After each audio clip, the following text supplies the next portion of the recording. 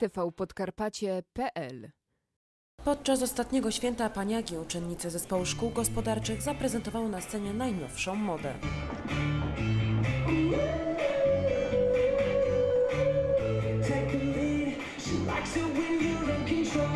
Let it breathe. Chill and go with the flow. Make all the plans.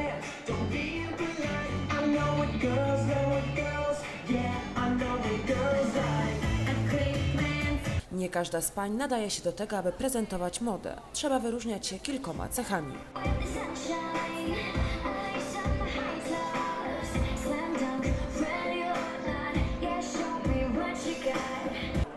Że to jest niezmiernie łatwe, ponieważ dziewczyna widzi, jak wygląda, obserwuje, co się dzieje, warunki fizyczne widzi, że ma odpowiednie, jest otwarta na to i wtedy łatwo się pracuje.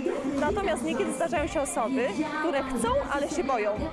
I wtedy praca jest bardzo trudna. To opiera się również o tak troszeczkę budowanie własnego wizerunku. I ja się tym też, ponie, też poniekąd muszę zająć. Ci uczniowie nie tylko się uczą, nie tylko nawiązują relacje między sobą, ale oni wszyscy są bardzo zintegrowani, zaprzyjaźnieni, bardzo chcieli pokazać się razem. Drodzy Państwo, oczywiście jak już tu jestem, to przedstawię Państwu przys- przyszłą modelkę, która będzie Rzeszów prezentowała w Mediolanie, Karolina Koszela.